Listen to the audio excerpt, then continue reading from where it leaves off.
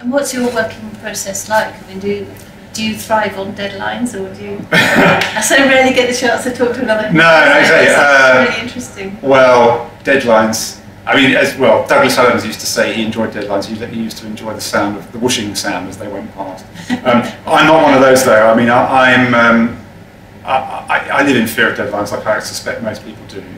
Um, I get frustrated that uh, I am not more efficient in the earlier stages of working towards a deadline. And I think it's it's very true that there is a long period of denial um, leading up to, yes, we both know what we mean, don't we? Um, there's a long period of denial uh, before any, what feels like any serious or productive work. But do you not think done. that the work is happening? Fact, that something is happening because then it Yeah. all happens so quickly towards the end. It, it does. Um, I'm crying. Yes, it's all the work while crying, yes. Any of you have seen that in me.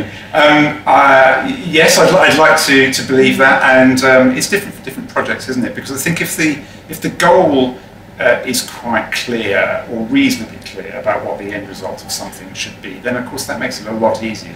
It's worse when you're just fumbling around and you don't even, you can't see what the end Yeah. target is. It's like, that's really difficult. It's very frightening, and, but, but I think fear is, is and adrenaline is it's very important to me. I, I almost need to leave it until it's too late, really, to write the piece, and and then it's it's just terrifying, you know, because the deadline's there and you, and you have to meet it, and and and there's always that. That, that feeling that it's not going to be good enough as well, and how, and what will people say, and you start imagining the, the the reactions of, of the listener, of the performers, and and you get totally self-conscious.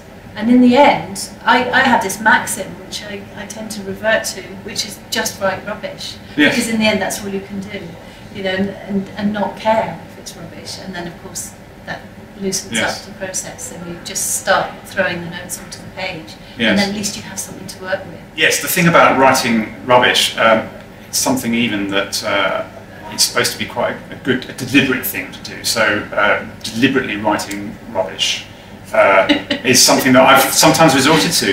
Um, and the interesting thing about it, the reason why it works, is that it sort of forces you to confront uh, the question of what do you mean by rubbish? What, what is rubbish in one's own context?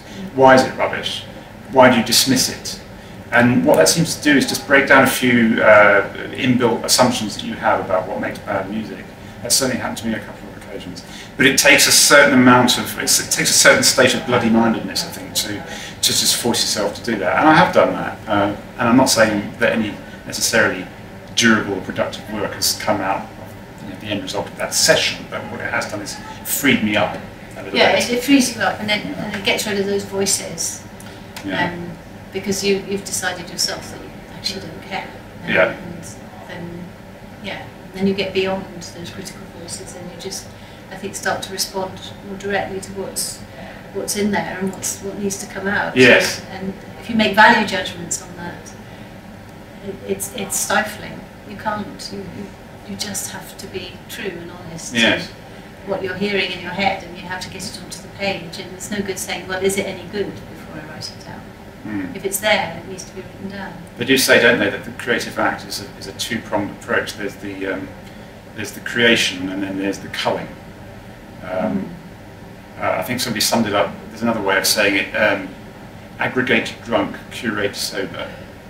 So, actually, adopt a, a rather reckless approach to the to the act of just cr- generating loads of material Yeah. suspend your your um, tendency to, to edit and to be a perfectionist and to change things. Just get the material down first, and then th- it's a separate mindset. Yes, back and then it. and then you, you come back in, and I think I heard John Cleese talking about that, and that that, that necessary period of playfulness Mm. when you're not judging anything, but you're just really enjoying whatever happens. Yes, yes. That's. Uh, uh, do you find that you have certain strategies to cope with uh, uh, habits of procrastination?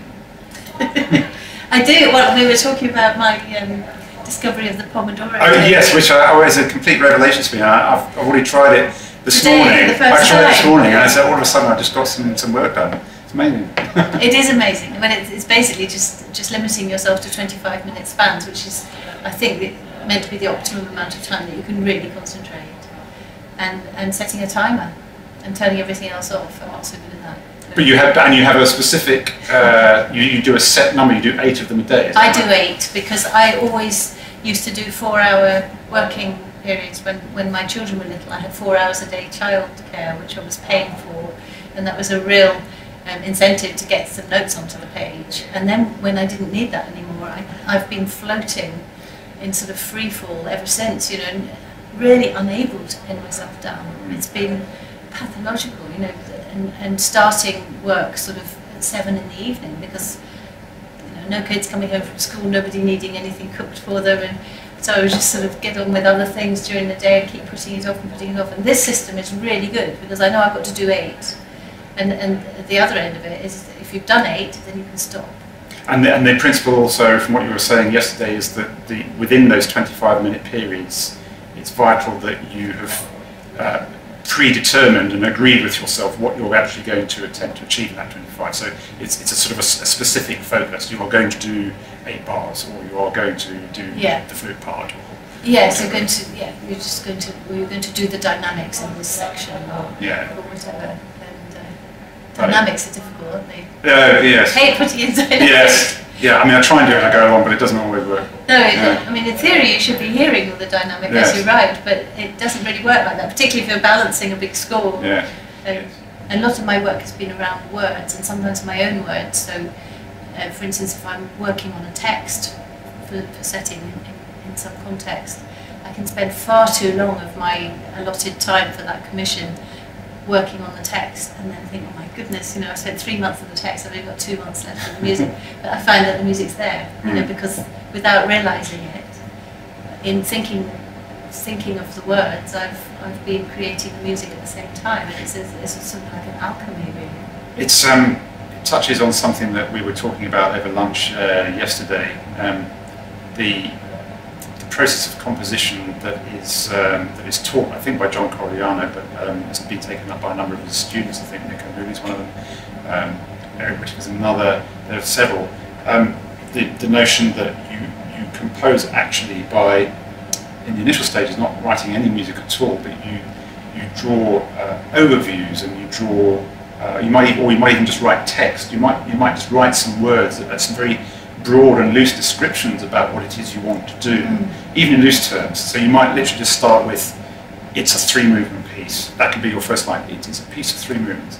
Um, so almost like you, it's like a camera that's just zoomed out on the whole thing. This before you've written any music, and then gradually the process of writing something still without writing any actual notes, but, but zooming in on each thing and thinking, even if you just draw some graphs or some, some lines or you know, maybe a hairpin to show something getting louder or whatever, and then gradually you do this in more and more and more and more detail uh, until you've got this massive overview of what the thing's about, and only then do you, is your brain in a sort of a, a position to, to, to know what the, what the musical material is Yeah, that I fits think, all this. I think that's great. I've found often, too often, I get asked for the program note before I've started the piece because I'm so late on all my deadlines. And so I'm, I'm getting the phone call about the, you know, have you done, have you done the program note yet? And so I have to write a program note and describe the piece before I've written it. And that's fantastic because then I have the template. But you've never felt, have you ever felt sort of too sort of subscribed by that? I mean, you've never Well, once I, I, it was a string quartet, and, and I wrote in the program note, this was written on the Isle of Harris, because I had this idea that I was going to go up to Harris and, and write this piece. And I then and had, you lied. well, I then had to go to Harris. oh to right, did go? Oh right. And I only had a week um, to, to be in Harris and write the piece, and so I wrote it incredibly quickly, but I wrote it in Harris because I had to follow this program. That is brilliant. I just, uh, uh, so actually, there's a whole new way of composing. This piece was written on the Maldive Islands. I can just see it now. Great. And the other thing you can do is, is, is, is write a couple of really fantastic reviews of the piece as well. You So write- you write yes. the program, then you write these reviews that say the use of the strings was absolutely exquisite, and, you start hearing this amazing piece. And Yeah. it's, it's like the it's like the reverse of the, of the nasty voice on your shoulders saying it's rubbish. You know, it's, Yes. it's the absolute reverse. So you, you think of all these positive descriptions of the piece of music, and I find that very helpful. That is great. I, I'm going to have to try that myself. That's, uh, that's brilliant.